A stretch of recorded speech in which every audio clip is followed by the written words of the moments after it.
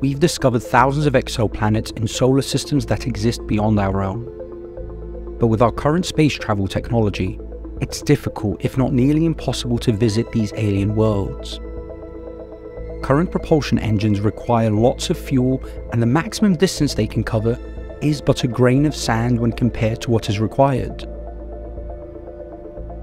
However, a theoretical physicist known as Miguel Alcubierre published a remarkable paper in 1994 titled The Warp Drive Hyperfast Travel Within General Relativity. In this paper, Miguel uses shape functions to create curves in space around a spaceship. You see, Einstein discovered that mass and energy cause space to bend. And when space bends, objects travelling through this bend are pulled into the curved space we think that this is what causes the effects of gravity. Miguel Alcubierre explains in his paper that if you can get space to contract or bend inwards in front of the spaceship, while getting space to expand or bend outwards behind the spaceship, then motion can occur. Although the spaceship and astronauts within it will travel a distance, they won't experience any forces due to acceleration, which is actually a good thing because very high accelerations can result in a high enough force, which can be extremely dangerous.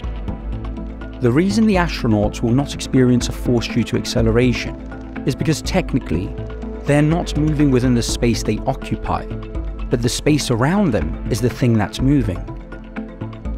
Scientists have observed that space itself can and is expanding faster than the speed of light, but objects within space can never travel faster than the speed of light.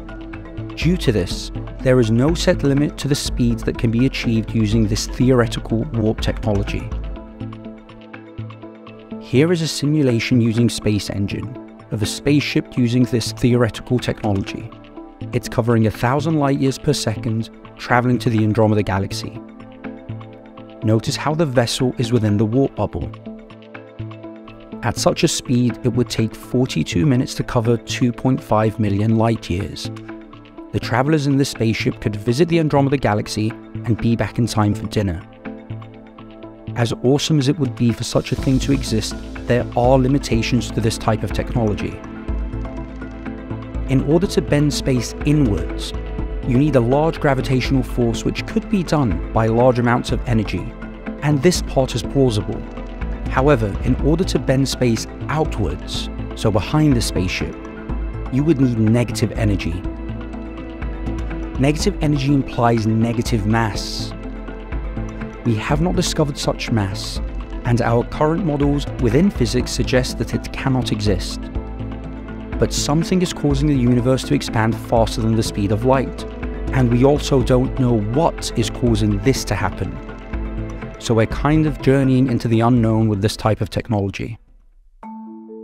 The amount of energy required to cover distances such as a thousand light years per second would be astronomical.